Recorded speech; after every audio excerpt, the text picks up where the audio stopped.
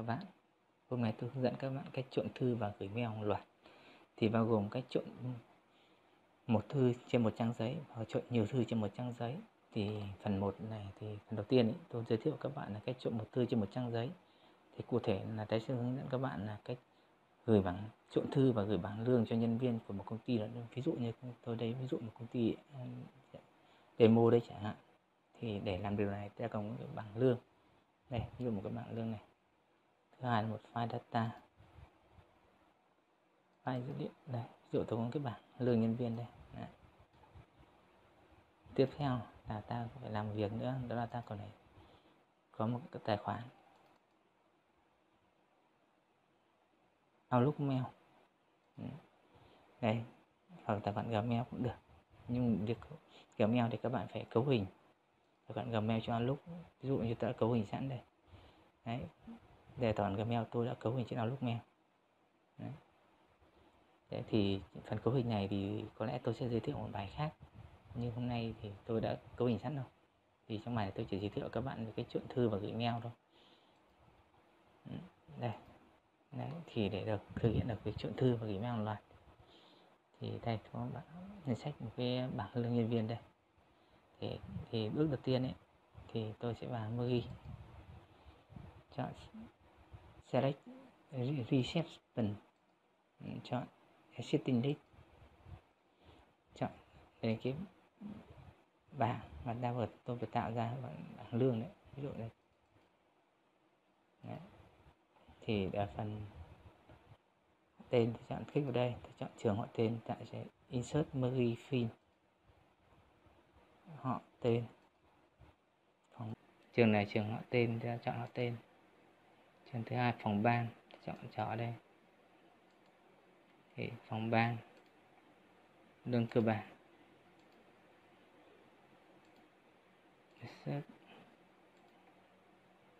Lương hiệu quả. Đặt ở đây.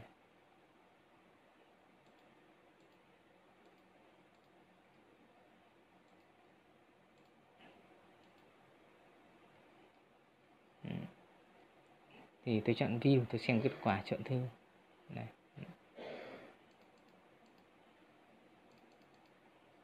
vậy là ta đã chọn được một thư trên một trang giấy A4 vậy thì để gửi mail hàng loạt, thì ta làm như sau. Tại đây ta phần finish merge chọn send email messenger thì tại tu sẽ có bot này ta chọn mail để tôi gọi nội dung là của là thư. Ví dụ tôi chọn lương tháng 2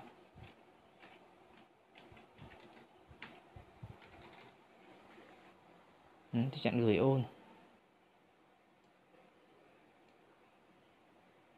Ừ, để để kiểm tra là thư đã được gửi đi chưa? Thì tôi vào sen. Ừ. Chọn show progress. Tôi kiểm tra, đấy, như vậy là thư đã gửi đi. Đây, tôi kiểm tra kết quả trên gmail. Sửa tôi đang ví dụ tôi gửi cho chính gmail của mình.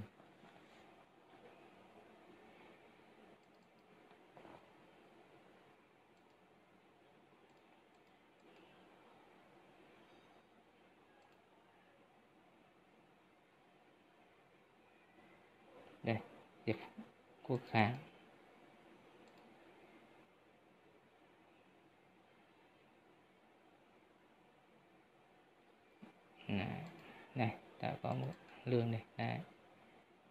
Vậy là ta đã có một cái bảng lương ta gửi. Đấy, đây là kết quả của việc trộn thư và gửi mail là thì việc trộn thư và gửi mail là có thể áp dụng cho vấn đề để ta gửi bảng lương cho các nhân viên trong một công ty.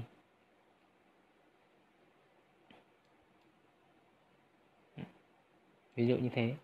Ngoài ra tôi giới thiệu các bạn một cách nữa. Đó là cái trộn thư nhiều thư trên một trang giấy A4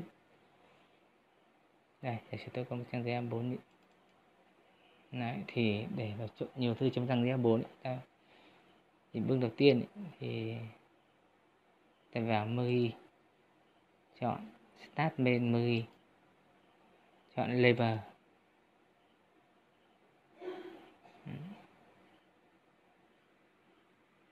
Chọn New.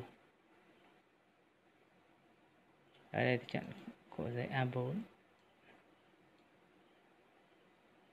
Đấy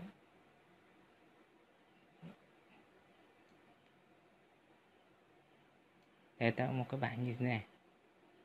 Để tôi thoát ra để chúng ta giới thiệu tôi giới thiệu cho các bạn một số tính năng đây ví dụ cho các bạn như thế này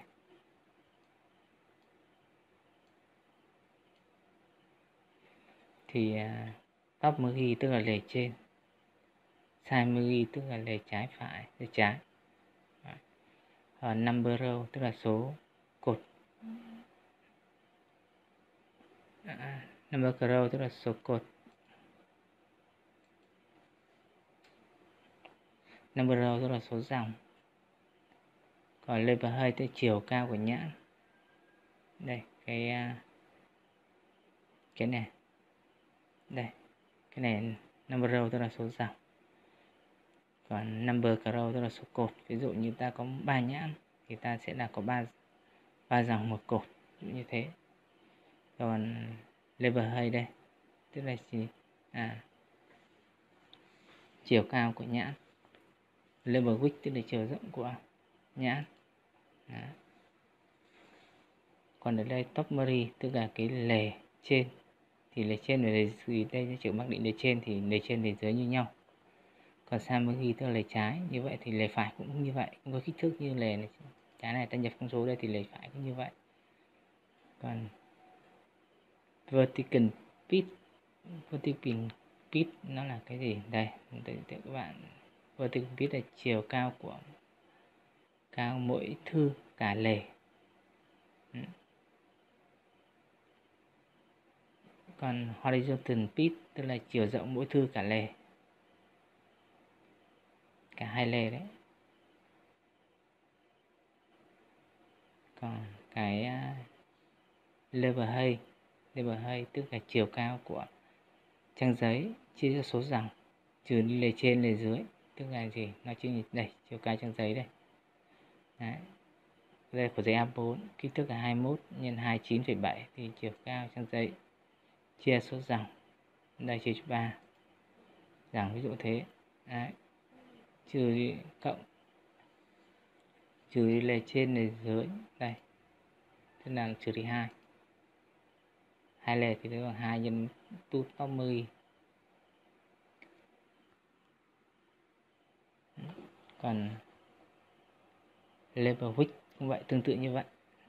Level thì đây chiều rộng của trang giấy, chia cho số cột trừ lề trái lề phải. Đấy, đó chính là thằng à, page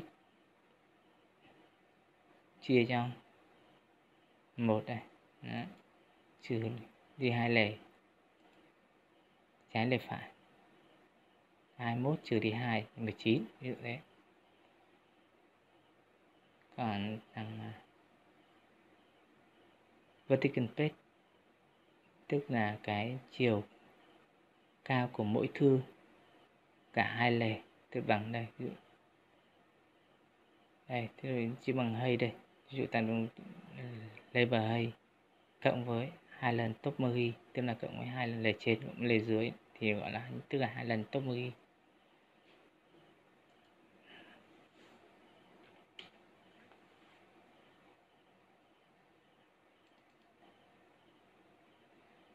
Đấy. còn horizontal pitch cũng vậy, tương tự.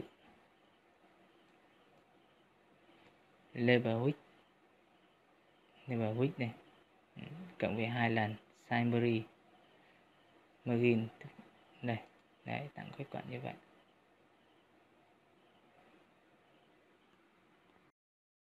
Thì để trộn hai thư trên một trang giấy, thì ta làm như sau. Thì tổ công công việc cần chuẩn bị thì ta có một thứ nhất là một file danh sách phụ huynh và học sinh và thời gian. File tiếp theo là một file giấy mời. Đấy ví dụ tôi file giấy mời đây. Đấy chúng ta phải chuẩn bị trước hai file này. Thì để làm giấy mời thì cái này áp dụng trong trường hợp thời hạn giấy mời cho nhiều các phụ huynh trong một lớp học ấy, thì để tiết kiệm giấy thì ta sẽ có thể trộn thành hai thư trên một trang giấy.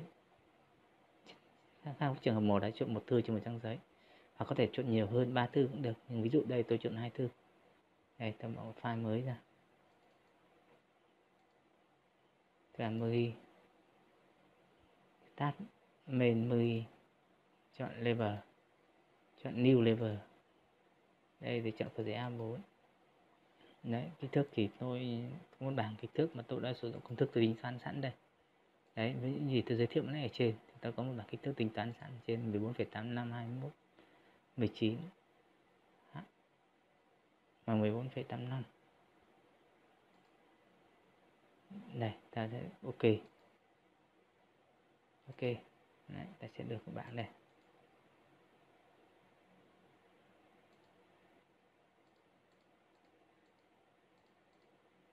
đấy thế. Đây, có giấy mời này. Bước theo ta copy cái giấy mời. Và giấy mời ta vào đấy. Hiệu giấy mời ta chuẩn bị chưa ta copy vào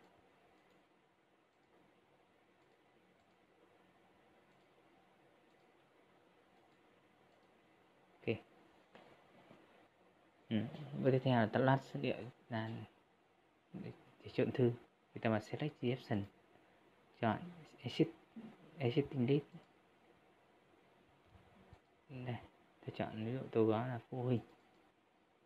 Thì sách đấy thì ta đặt. Vị trí con trỏ tại trường với kính mời ông bà ta đặt tại đây.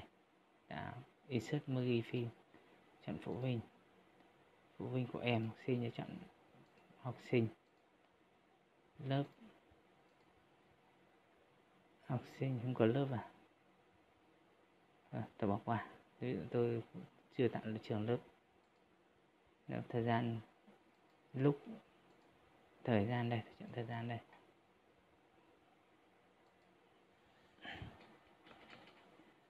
Ngày tháng đi. Ngày và địa điểm địa điểm đấy ví dụ thế. Thì view để xem thử. Đấy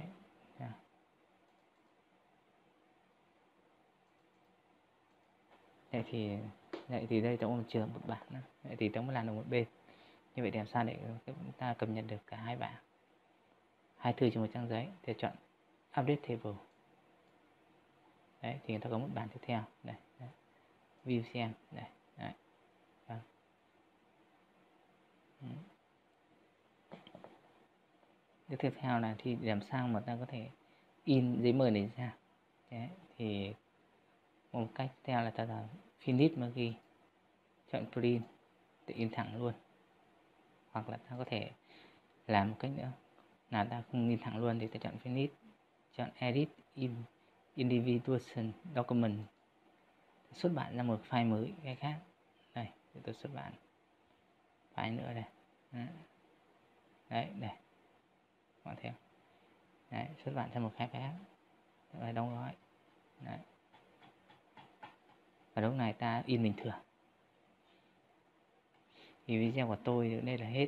Thì các bạn đừng quên click vào nút đăng ký để cập nhật những video mới.